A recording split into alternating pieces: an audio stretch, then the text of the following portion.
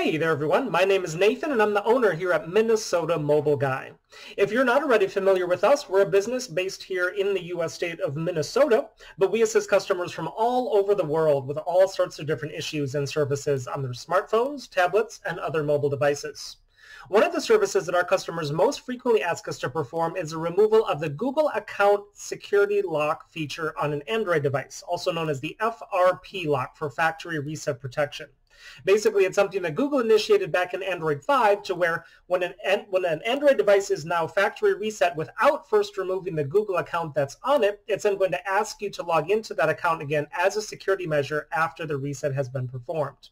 Now, here with us today, we happen to have a Samsung Galaxy Tab A this is one of their smaller models that just has a 6-inch screen, but this device does have the Google account lock enabled because as we can see here, as we go through the setup steps, we get to the screen that tells us that it was reset, and to continue, we have to sign in with the previous Google account that was on it.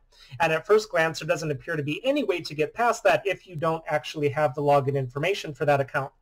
So we've been contacted by tons of customers over the years asking us for assistance with this specific issue on this specific model, usually either because they themselves accidentally got locked out of their own device and couldn't remember or recover their login information, or because they were sold the device by a dishonest seller who didn't tell them that the lock was enabled, and after the purchase, the buyer discovered the device was locked and they didn't have the login information. The seller had long since disappeared, and unfortunately, it's a very common scam that happens all the time these days with the buying and selling of mobile devices.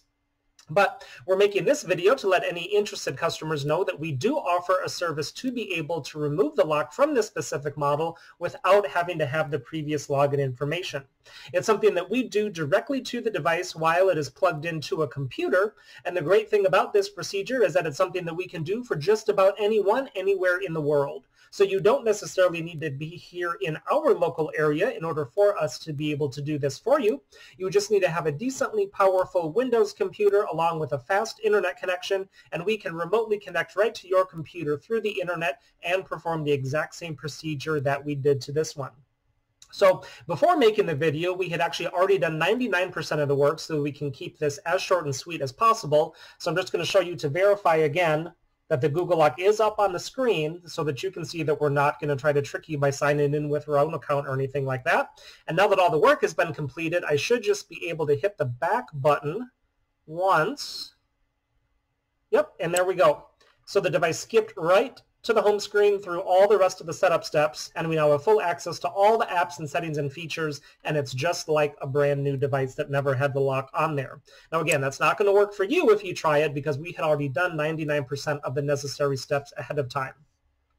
Now I'm going to go ahead and jump into the settings just to show you exactly what we're working with. So in the About Device section here, we can see that we do have a Galaxy Tab A. This one came out back in 2016, but that model number there, the T280, that's the specific model device that we are working with here.